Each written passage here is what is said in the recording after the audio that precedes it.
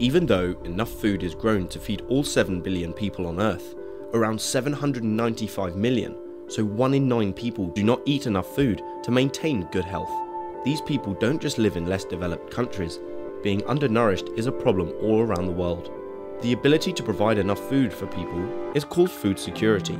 Food security exists when all people at all times have physical and economical access to sufficient, safe, and nutritious food for an active and healthy life. There are many countries around the world for which food security is a major issue, and there are several reasons why this might be. Let's look at each of them in turn and how the problems could be solved. Firstly, the human population is increasing. In the last 100 years, it has quadrupled and shows no signs of slowing. More people means more food is needed, but also there is less room to farm and fewer resources like access to water. These challenges combined mean it is becoming more and more difficult to grow enough food for everyone. Ways to increase food population include the increase in the use of fertilizers and growing GM crops, which have a higher yield.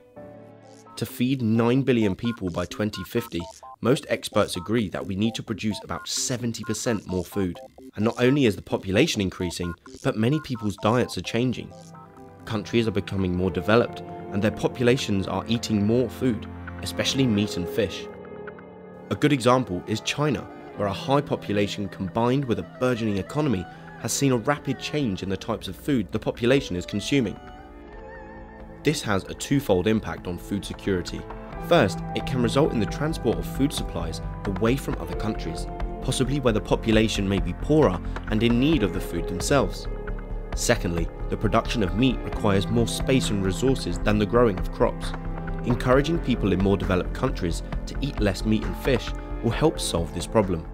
Some even say that we should be eating more insects, as these are a good source of protein and farming them requires much fewer resources than larger animals. Would you eat insects to help increase food security? Climate change is also having an impact on food security, but some areas are experiencing higher levels of drought and others more flooding. Both reduce the ability of the land to provide food. Also, climate change has affected the distribution of pests and pathogens, Insects that once could not survive in an area because the climate was not suitable can now thrive there, and farmers are experiencing new pests and diseases that were not a problem in the past. New pesticides can be developed to help with this, as well as growing crops that are resistant to diseases. Finally, conflict can affect food security. An area affected by war will experience a reduction in farming.